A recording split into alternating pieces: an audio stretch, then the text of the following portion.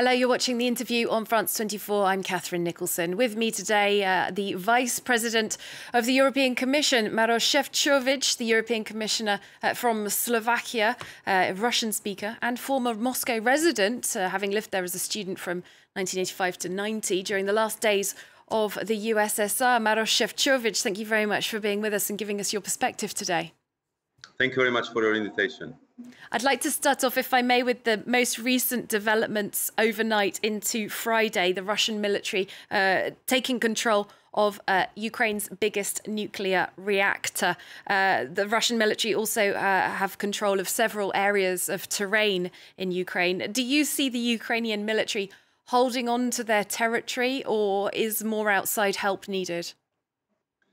I think that it's very difficult to comment on uh, uh, details of the of the military operation. But what I can say is that a uh, country with such a tragic history like uh, Chernobyl, and you you said that uh, I studied in, in in Russia in Moscow. It was exactly the time of Chernobyl Chernobyl disasters, and we have seen that how many years uh, and how many casualties and what been the tragic consequences of that uh, nuclear uh, disaster. And therefore, I'm absolutely astonished uh, that even today uh, there could be something like artillery shelling of uh, the biggest nuclear power plant in Europe. I, I think that the whole international community consider this absolutely irresponsible.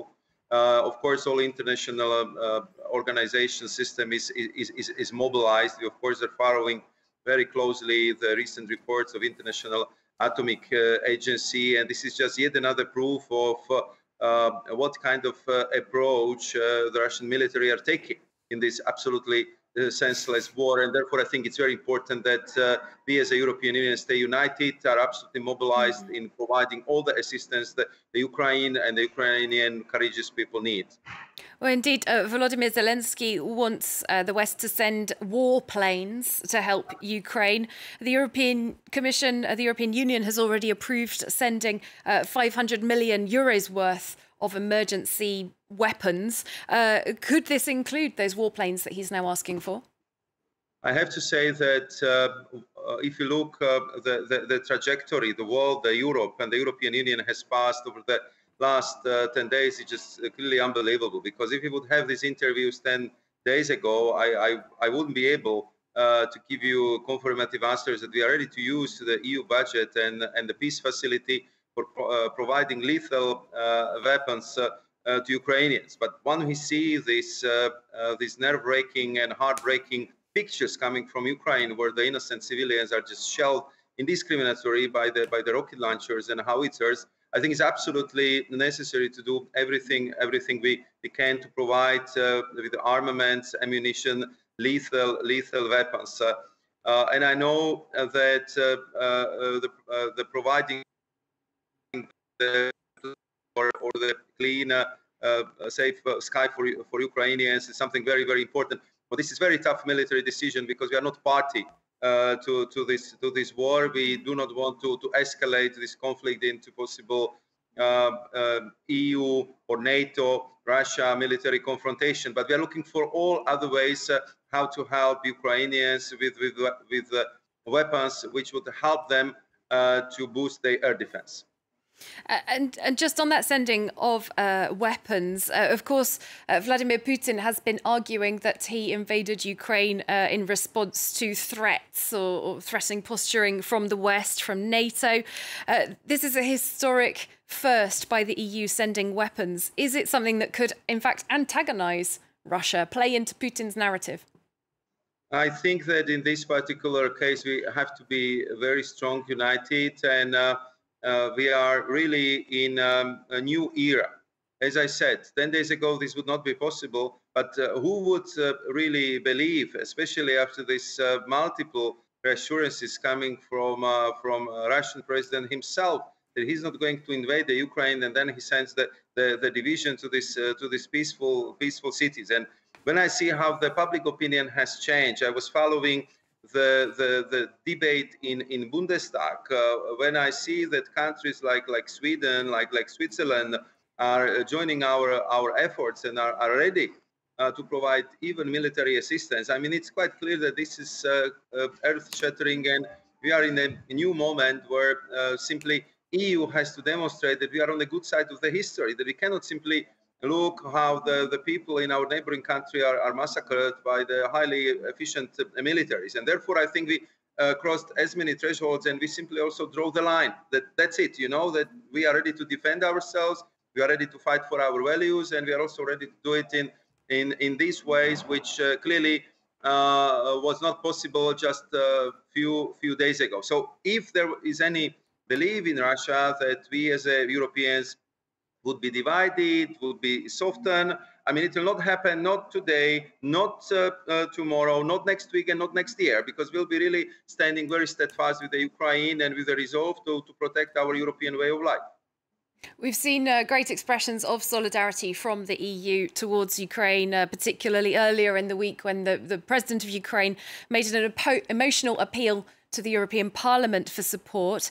Uh, now, he says he wants Ukraine to get immediate accession to the EU via a new special procedure. We have heard uh, hesitant responses to that from various EU member states. What do you think is the, the most likely path now for Ukraine, which obviously does have a will to be closer to the European Union in some way?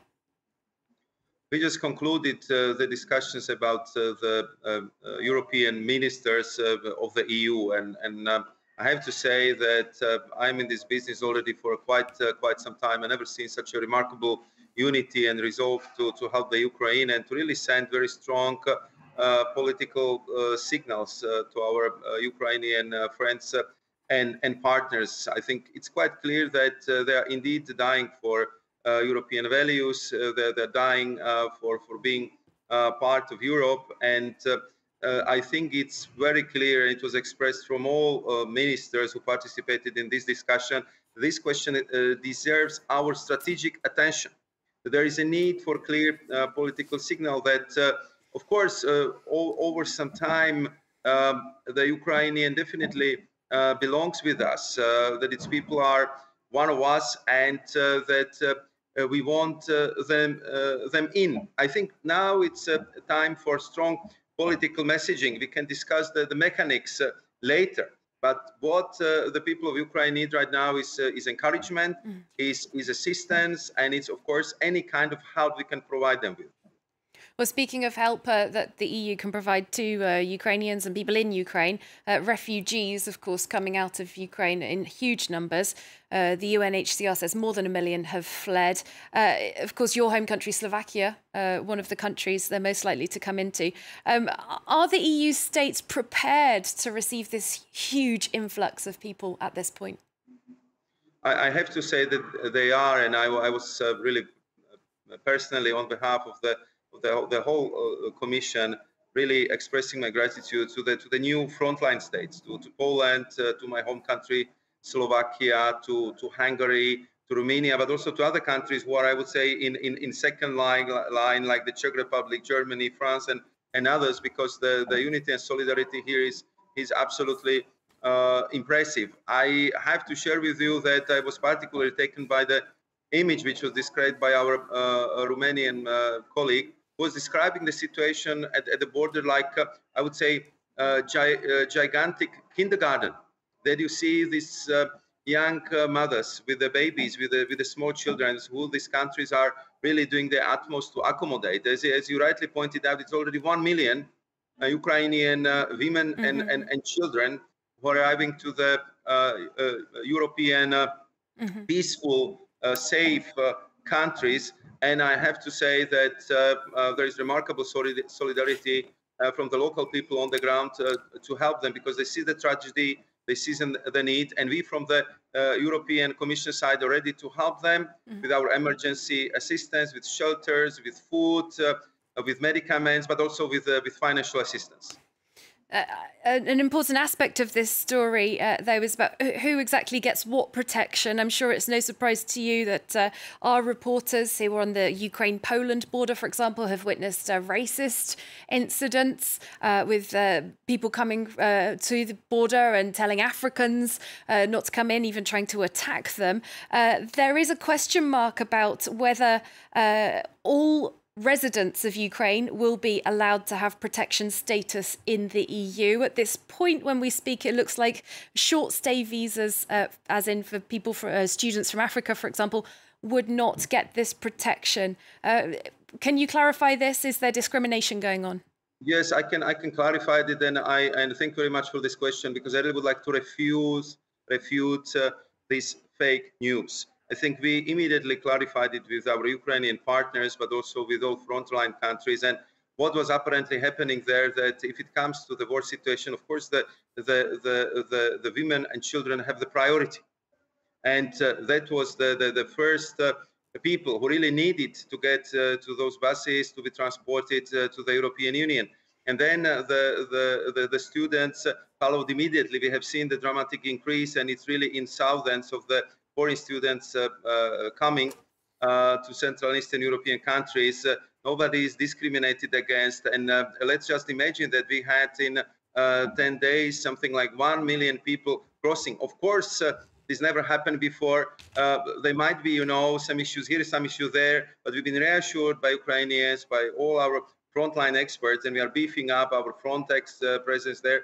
There was no discrimination. There was definitely no racism, and we did our uh, utmost uh, uh, to make sure that the students would have safe passage uh, to Europe. And we are already also working with their home countries to also organize the flights which would uh, take them uh, back uh, to their countries until hopefully the peace is restored in Ukraine and they can come back as students.